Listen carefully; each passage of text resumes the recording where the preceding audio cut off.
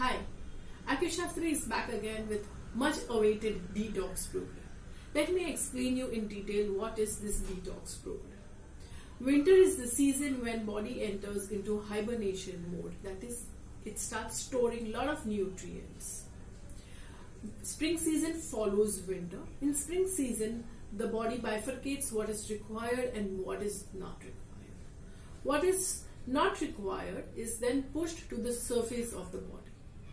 So, in our detox program, what we do is we enhance this process of bifurcation so that we optimally the body can decide what is required and what is not required. What is not required is then thrown out of the system. The second thing what we do is that in the process of this bifurcation, all the organs get a little fatigued, little tired because it has to do extra work.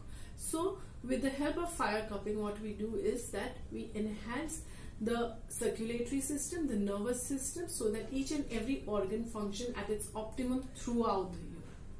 We also strengthen your digestive system because we believe that most of the problem arises out of faulty digestive system. So we strengthen your gut in our detox program.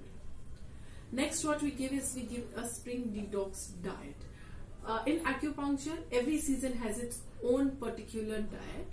So in spring diet, we give a diet which enhances your spring energies, which enhances your wood element and which takes minimum time to digest so that the body is able to concentrate more into detox.